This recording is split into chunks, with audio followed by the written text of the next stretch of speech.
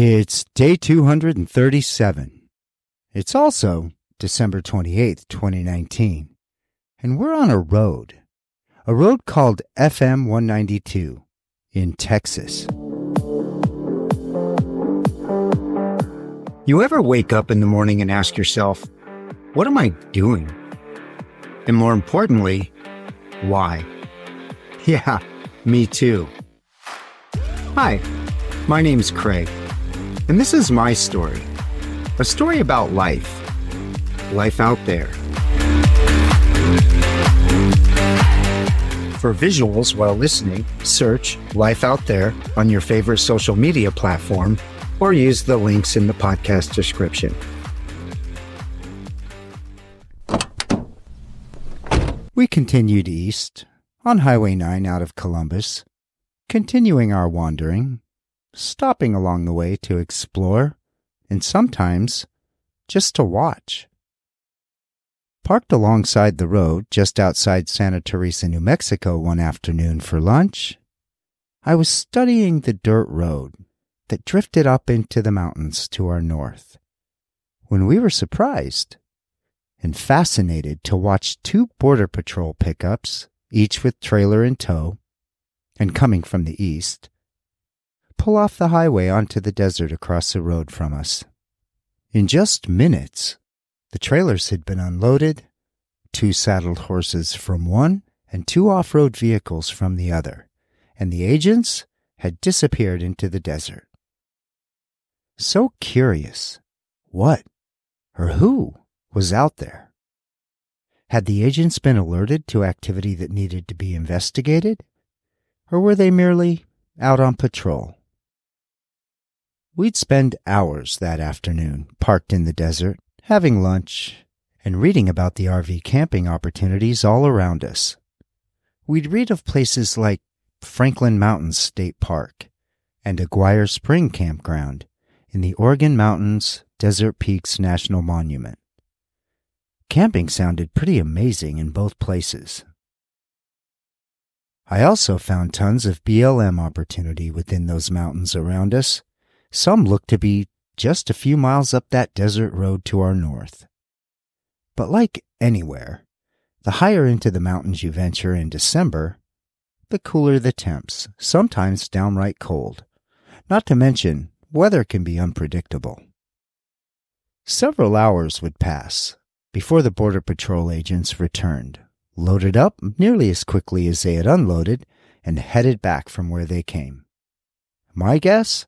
El Paso, which I had just learned was just a few miles up the road. When pulling off the road here for a break, it had not yet occurred to me that we were about to leave New Mexico and enter Texas. Slipping into that southwest corner of Texas that would suddenly put the New Mexico border to our north and all of Texas and Mexico to our south. And learning that over 600,000 Texans call El Paso home, and that just across the border from El Paso, you'll find the nearly 1.5 million people that call Ciudad Juarez, Chihuahua home in Mexico. Wow. Considering that we were not far away from nearly a quarter of a million humans, and apparently a much busier part of this desert southwest, we'd likely just slip past El Paso and keep looking for our next quiet spot. But that said, a quick read about El Paso, and one could probably be pretty easily convinced to stick around a while and check it out. Who wouldn't want to check out the spot near present day El Paso on which the Spanish explorer Juan de Oñate and his expedition would celebrate the very first ever day of Thanksgiving in North America. Crazy, right? Thanksgiving in America? In my head, was born of images of American pilgrims breaking bread with Native Americans in Plymouth, Massachusetts, in celebration of the season's bountiful harvest. All of which is true and accurate. It's been tracked back to 1621 being the first known Thanksgiving, pilgrim style. I didn't know the part about it wasn't an annual thing. In, in fact, Thanksgiving would be celebrated pretty sporadically throughout the colonies for years, apparently only when deemed warranted. It wouldn't be until 1863, during the Civil War, that President Lincoln would proclaim the fourth Thursday of each November a national day of Thanksgiving.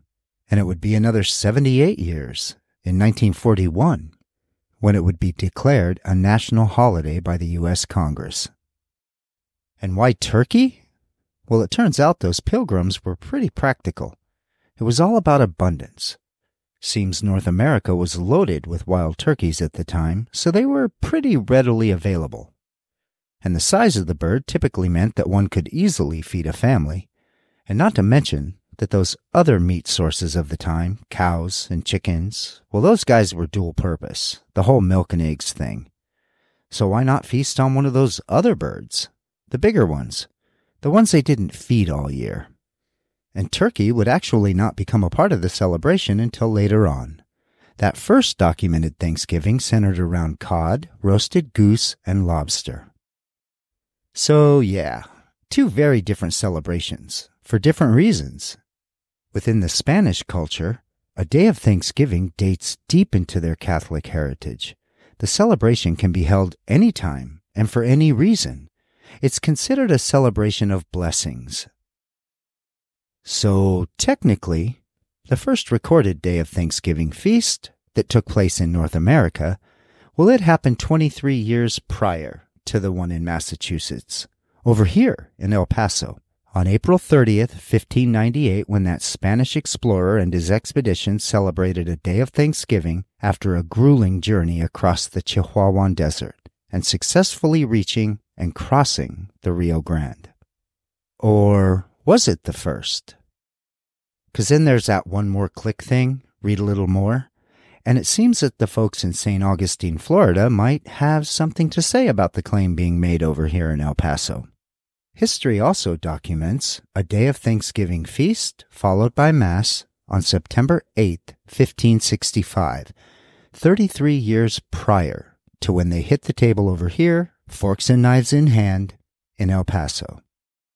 And those folks in St. Augustine, they were giving thanks for the safe arrival of a Spanish explorer named Pedro Menendez de Avila and his 800 settlers, who had just successfully navigated the Atlantic Ocean and landed in what they named La Florida, translated, the flowery one. But then, in time, Americans would apply a bit of, what was that called? Phonetic simplification? And La Florida would become Florida. And not to make light of the significance of the date and the celebration held here in El Paso, the community still does, indeed, to this day celebrate the historic event each year, honoring the significance of their forefathers' arrival in the area. That expedition of over 400 that left Santa Barbara, Mexico, and traveled for over four months, successfully traversing some 1,500 miles to become a critical part of the colonization of the American Southwest. And in celebrating this remarkable achievement, the community often refers to the event as their first Thanksgiving. So basically, folks in El Paso, they get two Thanksgivings every year. But enough about Thanksgiving.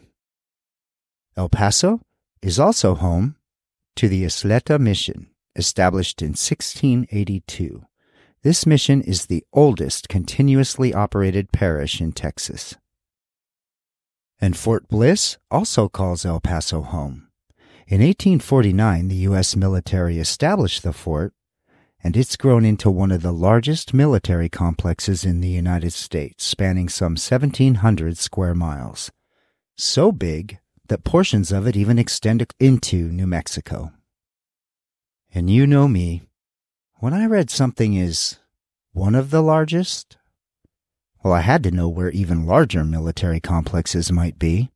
So I asked the internet for the five largest in the world, measured by land size and population. Now, I loved reading that all five are right here in the U.S., but was also interested to learn that when I asked the internet the largest not in the United States, well, that's a complex in the Astrakhan region of Russia. It's called Kapustin Yar. But when I asked how big that facility is, the internet told me, quote, that information is not readily available, close quote. So I'll just have to go with these five largest are of the ones we know of. And the largest? Fort Liberty, formerly known as Fort Bragg in North Carolina. This base is home to over 260,000 people and covers 163,000 acres. And then there's Fort Campbell, which actually extends the borders of Kentucky and Tennessee. 235,000 folks call that base home, and it covers 102,414 acres. And third, Fort Cavazos, formerly known as Fort Hood, also in Texas, 218,000 acres and nearly 46,000 personnel. And number four, Joint Base Lewis McChord in Washington State, also referred to as JBLM. This place is home to over 125,000 personnel and covers a whopping 415,000 acres. And finally, Fort Moore, formerly Fort Benning, Georgia. Over 130,000 personnel call this 182,000 acres home. And while El Paso's fort may not be in the top five, it is the ninth largest. And another interesting statistic around El Paso revolves around the arrival of four railways in the area in 1881. The sudden and massive increase in commerce through the area would lead to a bit of a boom, and the town's population would increase by tenfold in just the following few years, when the little town of El Paso would now be home to over 10,000 new residents. And finally, I'd read about the Chamizal dispute. As I so often learn, if you dig around long enough, you'll find fun factoids, fascinating, sometimes even tragic pieces of history that has somehow gotten lost in the history books. At least the ones I learned from. In this particular series of events, well, it caught my eye for a couple of different reasons, I think. First, it is a twisty, turny, up and down and back and forth series of exchanges between the United States and Mexico that spanned over a hundred and four years. And it all began at the hands of Mother Nature. By 1864, the U.S. border with Mexico had been fairly well established, whether it be via the U.S. victories in the Mexican American War or the Gadsden Purchase. Boundaries down here were pretty clear and respected. But then, a major flood would occur in 1864 a weather pattern and the resulting flood would be so intense that it literally caused the Rio Grande River, the border between the countries, to change course. The river actually moved south. And this would begin a century long dispute over where the boundaries between the two countries actually were. And it didn't help that the river would continue to shift and to pretty continuously move that boundary between the two nations. Now, when those 600 acres of Mexican territory and its residents had cleaned up after the initial flood and suddenly found themselves on the other side of the border in America, well, it's easy to see how things could get complicated. In short order, American settlers, being the go getters they were, would actually begin showing up in and attempting to settle land as their own. And at the same time, that little city of El Paso, well, it was doing some encroaching of its own. And those Mexican landowners, well, they kind of found themselves in the middle of a nightmare. A nightmare that would last over a hundred years. The area would become known and referred to as El Chamizal, Loosely translated, the term referred to a shrub that was abundant in the area, a shrub known for its ability to thrive in the salty soil deposited by the Rio Grande River, a plant also known for its deep root system, oftentimes reaching some 15 feet into the earth, which helped to stabilize the soils, protecting against erosion. Now, it seems clear to me that the term was applied by Mexican landowners to symbolize not only their resilience, but their commitment to the land that was theirs and they fully believed still was. Now, I read this much of the story and wondered why would such a dispute take two countries, friendly, allies even, so long to come to a resolution. But then I went on to read that lawyers in both countries, and worse yet, politicians in each country, would unavoidably get involved. At that point, I guess the question of how it could possibly take that long uh, became a little bit less of a mystery. It would be decades of legal wranglings and reinterpretation of the treaties that had established the border lines in the first place. And all the while, the affected residents would be left in the crossfire, essentially out in the cold, to deal with life on their land and the encroachment of it with their own attorneys. And it certainly did not help that all the while Mother Nature, well, she just kept at it, continuously shifting that Rio Grande River. Now, to say that over this period of time, tensions would rise and tempers would flare would be an understatement. Multiple attempts at resolution had failed when in 1909, during yet another attempt at resolution, the Taft Diaz Summit would be held. Meetings would take place in El Paso, Texas, in the United States, and Ciudad Juarez in Chihuahua, Mexico. The two presidents would then meet on neutral soil in the affected area of El Chamizal, where an assassin would attempt to take the lives of both presidents. Now, while unsuccessful, the attempt on the lives of the presidents highlighted just how heated things had become in the area, and yet the dispute would continue to drag on. The summit had not resolved the dispute, but it was notable in the fact that it represented the first time an American and a Mexican president had ever met face to face. It would also come to symbolize and reinforce each nation's commitment to resolving the dispute peacefully. But another 54 years would pass before an official resolution would be signed. Cities and communities would grow all around the area. Cultures in the area would meld and communities would figure out how to just make it work until these two nations, with their politicians and attorneys, got their act together. The U.S. would continue to operate under the belief that the area was U.S. territory, if going by the letter of the law in the treaty that stated the Rio Grande was indeed the border. And then finally, in 1963, at the hands of President Kennedy and in negotiation with the President of Mexico, Adolfo Lopez Mateos, the Chamizal Treaty would be agreed upon and signed. But then, because I guess there had not been enough craziness and time invested in this process, President Kennedy would be assassinated before the treaty could be ratified. But thankfully, ratification would take place the following year in 1964 when President Johnson would finish what President Kennedy had started. And three years later, in 1967, 630 acres of land would be turned back over to Mexico, along with a $4.5 million check. Within the treaty, the U.S. had agreed to compensate the Mexican government in an effort to help with relocation efforts, infrastructure improvements, and perhaps in some small measure, restore what had been taken away from the country all those years ago. Also within the treaty, each country committed to building a memorial on each side of the Rio Grande in remembrance of who had been affected and what the two nations had learned.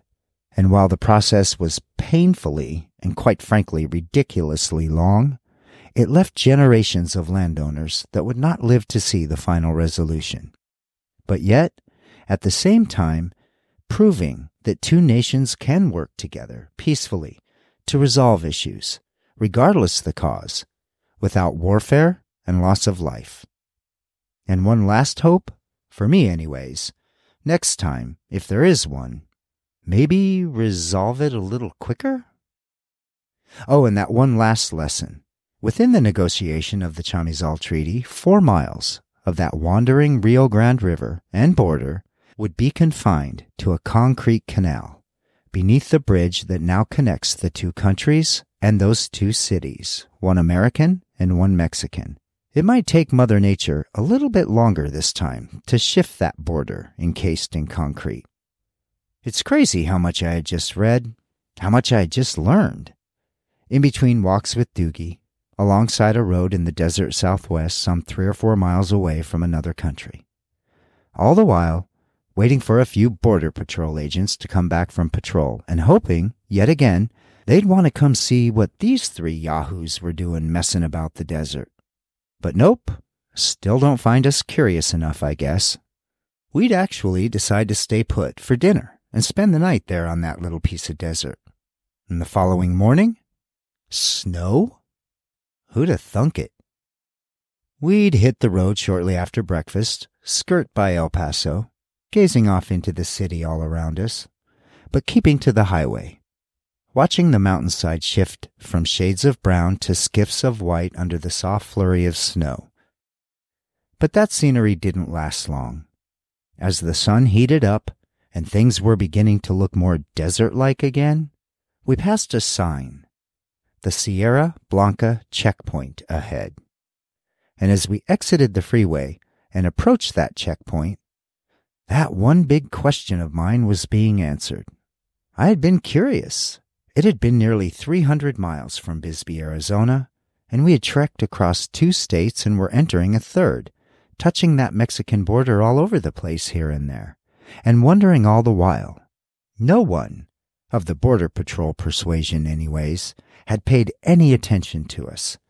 This 30 year old, 32 foot long big metal box on wheels that we call Vacilando had not drawn a second look, not even a wave, from anyone in one of those green and white Border Patrol trucks.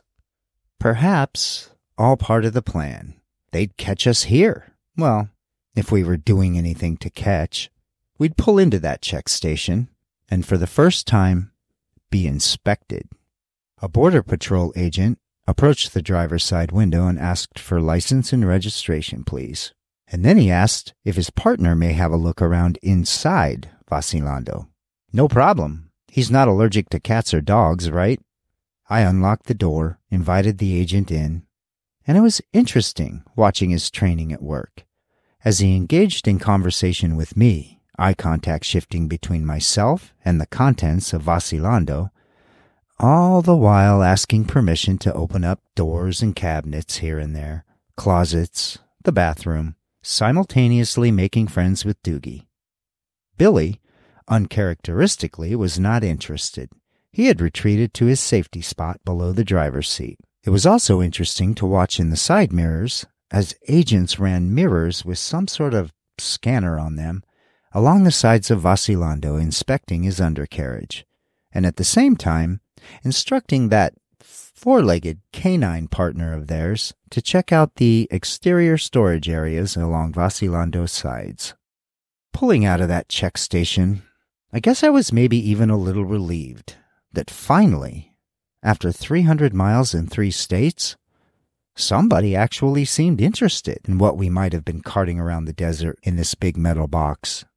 Also interesting, in our nearly 1200 mile trek across Texas, that this would be the last time we would be stopped and inspected here in Borderland. We would stay on I 10 only long enough to ensure that we had safely escaped any semblance of serious population, when our wandering nature would take over once again and we'd randomly exit the interstate. Now I wasn't even really keeping track of where we exited, or what roads we took, or even what direction we were going for that matter when I'd pass a road sign reading FM 192. And here we were, on a narrow road winding our way off into the horizon. Not so much deserty feeling at this point. The landscape was changing, it was shifting, starting to feel more like farmland and ranches, rather than surrounded by the jagged mountains of the desert well, those were slowly being replaced by the rolling mountains of wherever we are in Texas.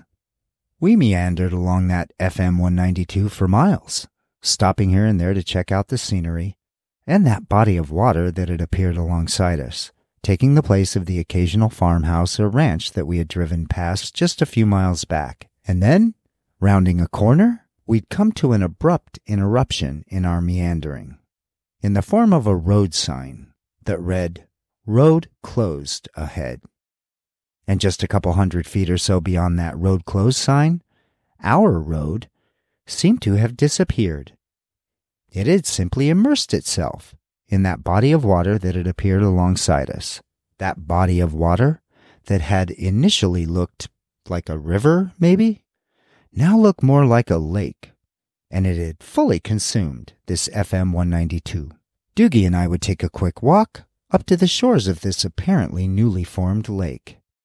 I found myself chuckling as we walked past that big orange road closed sign, thinking two things. First, duh. And second, perhaps a more strategically placed road sign some 20 miles back would have been a bit more effective. But nonetheless, here we were, returning to Vacilando and realizing that we'd have to execute a rather time consuming process. And not for the first time. We'd first executed this process when met with the unmarked dead end road in a small RV park in Ocean Shores, Washington. Now, anyone that has towed a vehicle on a tow dolly behind an RV knows that reverse in this scenario, well, it's tricky enough when attempting even just a few feet, but hundreds of feet or more? There's a much quicker, although a lot more labor intensive solution. Unstrap the car from the car dolly, unload the car, turn the car around and park it out of the way, unhook the car dolly from the RV and push it out of the way, then execute a 16 point turn in a 32 foot RV on a two lane highway with minimal shoulder, and pull up a few feet, now facing the desired direction. Reattach the car dolly and drive the RV up past the car you'd parked out of the way, reload the car on the tow dolly and strap it back in. And just like that, 20 or 30 minutes later, you're all set, headed in the opposite but desired direction. Now, having traveled, I don't know, most of the morning and facing this process, I decided I'm hungry. So it would be first a longer walk with Dougie, then lunch, then a relaxing afternoon of reading alongside a newly formed little lake somewhere in Texas before executing Operation Turnaround and heading back out towards the interstate. And the first thing I would read? That FM stands for Farm to Market. Apparently, it's a Texas thing. This particular Farm to Market road, according to Google Maps and the Internet, is located in Hudspeth County, Texas. It starts at State Highway 20 in McNary, Texas, and runs southeastward through Esperanza, covering a distance of some 25 and a half miles. The road was originally designated in 1946, but has undergone several revisions and redesignations since. Farm Road, or Farm to Market Road, specifically in Texas, is part of the state's system of secondary and connecting routes built and maintained by the Texas Department of Transportation. Texas established this system in 1949 to improve access to rural areas, providing local farmers with a more dependable roadway for transporting their product to larger marketplaces. These roads can also sometimes be referred to as ranch roads. The system consists of primarily paved two lane roads, although some segments have more lanes and some are even considered freeways today. Texas contains over 79,000 miles of ranch or farm to market roads, and the oldest of which is FM 1960, a farm road completed in 1937 during the Great Depression. The road runs through several cities in what is now the Houston metropolitan area and has evolved from a rural country road into the major urban thoroughfare it is today. Now, some info out there started to become a bit contradictory. Like, for example, which was actually the first and the oldest and how many miles of it there are. But I wasn't much interested in getting too buried in all that and trying to sort it out. What was fun to learn for me was that Texas, some 80 plus years ago, had come up with actually a very smart plan to fund a system of roads that would connect large expanses of an enormous state. They understood the importance of connecting farmers to the larger commerce areas of the state, allowing every Texan the opportunity to farm and ranch anywhere in the 261,568 square miles that the nation calls Texas. And translated, that's 172 million acres. And Texas figured out a way to connect them all. Now, it's not hard to believe that while reading all this data about roads in Texas, I'd also come across the unsurprising statistic that Texas, the nation's second largest state, is also home to the most extensive interstate system in the country, containing more miles of interstate than any place else in the country. 3,238.7 miles of interstate, to be exact. Oh, and another quick fact more road signs, by far, than any other state in the country. And here we go again. The internet had just told me that Texas has more interstate than any other state. So guess who asked the internet what states held the top five slots?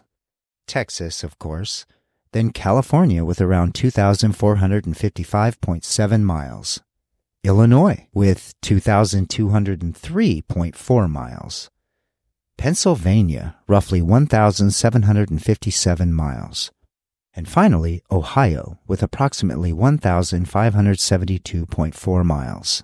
That was interesting because after California, I don't think I'd have gotten any of those other three right.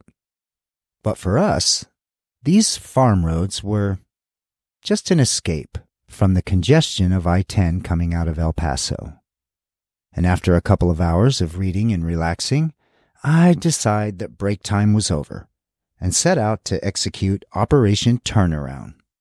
And some 30 minutes later, it was back out towards the interstate for us. As night fell, we'd made it around 150 miles east ish stopping off along the way in places like Van Horn, Allamoore, Saragosa, Sierra Blanca, and calling it a day in Pecos, Texas. I'd already Googled a spot to park for the night as we pulled into Pecos, a large parking area on an old fairgrounds. As we pulled into the parking area, we drove past a monument with a bronzed plaque proclaiming Pecos the site of the world's first rodeo. And settling in later that night, after some dinner, I was thinking back to Prescott, Arizona, and remembered learning there that Prescott was home to the world's oldest rodeo. And yet Pecos claims to be home of the world's first rodeo. Huh, I've already got some more reading to do. Ah, the first time ever in Pecos, Texas. And I wonder what we'll learn here. Turns out this thing called life comes with a lot of rules. Maybe it's time to break a few. Because you can. no, seriously. You can.